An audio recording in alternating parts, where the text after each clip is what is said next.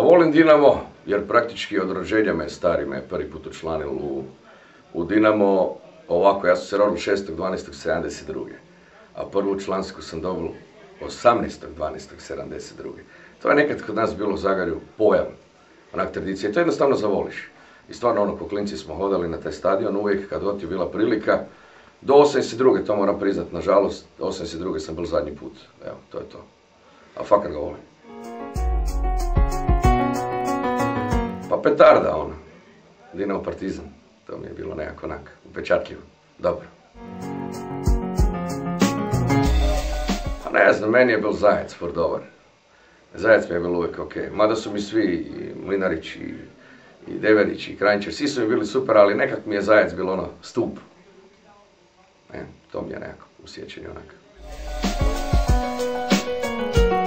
Pa to ja mislim 82. kad je postao prvak, ne. Juge, kad je to nakon bilo 25 let bilo ili tak nešto, evo. To mi je bilo ono fakat. A sad u ovo novije vrijeme ne vrem ništa, stvarno ništa ne vrem ovoga reći. Baš preveć lepoga.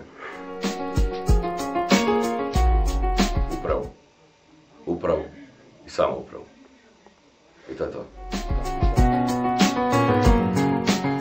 Ljudi, učlanite se u Dinamo, učlanite se u svoj klub. Jedan član, jedan glas. Više nas je, više značimo.